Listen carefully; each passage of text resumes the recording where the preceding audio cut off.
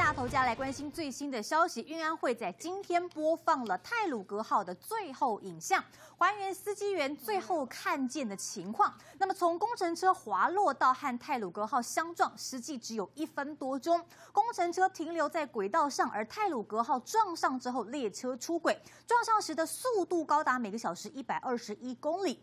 运安会主委表示，司机员在看见了横躺在轨道的工程车之后，踩了最大刹车，同时鸣笛。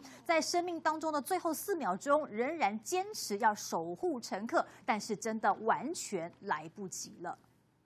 好，令人非常的心痛啊！但是还是要回头来看，现在我们的这个旅游泡泡情况究竟是如何了呢？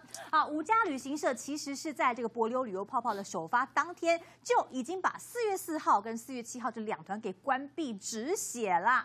好，KK Day 呢是唱独角戏啊，次发团竟然只有十个人参加哎。另外呢有三有三名的商务客上机，但是啊这个廉价期间的询问度非常的低，买气是遇阵乏力呀。好，自发团的团员有人呢就揭露了这个飞机上的情况哦，真的是空荡荡，没有人参加嘛，就是十个人而已呀。但是团员不以为意啊，直呼人少更好啊，直接包岛当岛主啦，赚翻啦。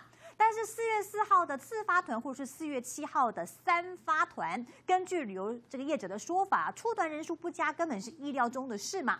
那么后续出团最关键的还是在于检疫措施到底能不能够松绑啊？不然的话，这泡泡是怎么样都救不活，注定是要变成泡沫了吗？好，我们要请教一下汉庭哦。其实台湾和博流的这个旅游泡泡哦，现在看起来买气真的是。第一团之后就直直落，到第二团只剩下十个人了。而观光局也证实，四月七号的第三团要延后收团，因为现在根本凑不到人数嘛。那么出发之前，每个人都做了 PCR 检测，那博流又没有疫情，而且呢，回到台湾之后又要五加九的自主健康管理，而且啊，一人一室哦，独立卫浴哦，那这跟居家检疫有什么不一样呢？嗯，因为谈了这个话题之前，刚刚才看完了那个最后几秒钟泰鲁格号的镜头，就是心里一揪，然后也很很难过，就是。泰鲁格上的人本来也可以平安无事，然后搞不好还可以去参加这个博游旅游团的。所以面对这件事情，如果我们的政府还是在持续打口水仗、搞卸责、搞带风向，可恶至极。好，回到这个旅游泡泡的议题，就是我们本来以为所谓的旅游泡泡应该是完全不用接受到各种疫情的考量或者是检疫的需求，我就正常搭了飞机，然后到了当地玩完之后回到台湾，我就自然就回家了，这个才叫做泡泡嘛。那可是现在民进党搞的所谓博游旅的泡 旅游泡泡，是觉得博流当地没有疫情，台湾也觉得没有疫情，那为什么回来了还要再搞五加九的自主健康管理呢？然后而且搞得还跟居家检疫一模一样，那到底这所谓的泡泡泡泡在哪里？那跟一般的外出到其他的地方又有什么样？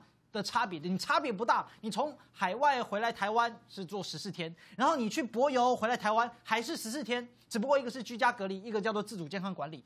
虽然说严重的程度是有差别，但实际上你都还是要跟别人保持一定程度的距离。那这个样子，到底你的泡泡是泡在哪里呢？这看来只是在民进党在打嘴。所以也难怪报名跟参加的人越来越少，更何况实际本职去博游旅游这件事情，往年也都有。好，那而且呢，就每一年大概也就是一万左右的人而已。那它并不是在当前在整个观光旅游产业。